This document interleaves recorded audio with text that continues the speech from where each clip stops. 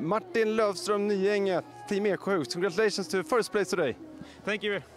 It's a back-to-back win for you, uh, second year in a row. Can you please tell us about your journey from uh, Setermoen to Bardufoss?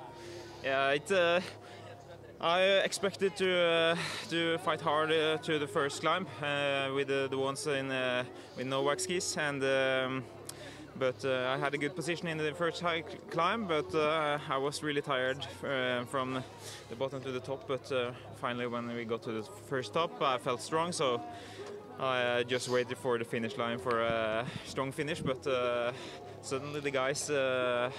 Starting to fall off, so I get get away and I took a good sprint.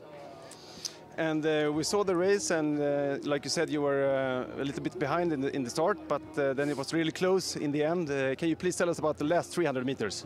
What was going on in your mind? The three last, I tried to celebrate a bit and enjoy the good atmosphere, and was really the smile goes all around. So nice, a really nice day.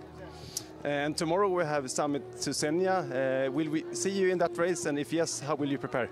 Uh, you will see me, but uh, I think I will be really tired, so maybe not in the very front. I will hope to see you tomorrow, and I hope to see you in the front. thank you, Congratulations! thank Thank you. you.